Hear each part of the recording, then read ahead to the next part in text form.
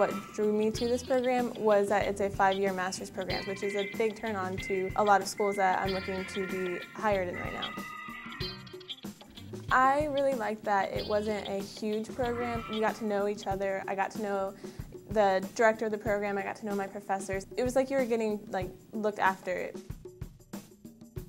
You feel like you have a large support group. There's a lot of different people that are ready to help you and want to help you. I've had many host teachers at Morgantown High School who are still trying to help me look for a job, writing me recommendation letters. My professors at WVU have been wonderful as well. My liaisons from WVU, and even just like the principals and other people at MHS that want you to, you know, stay there and work there.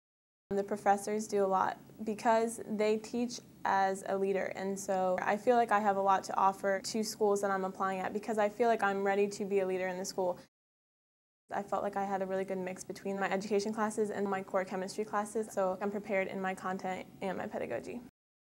Every year that we're in the program, as I'm compiling data for my exit portfolio, I feel really prepared to go out there and show everything I've done, and it's something to be proud of to show schools everything I've done throughout the five years.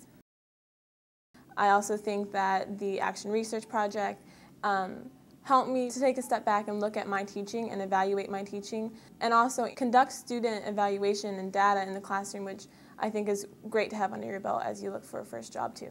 Over 1,000 hours in the classroom have just made me feel very comfortable and ready to walk into any science classroom and teach.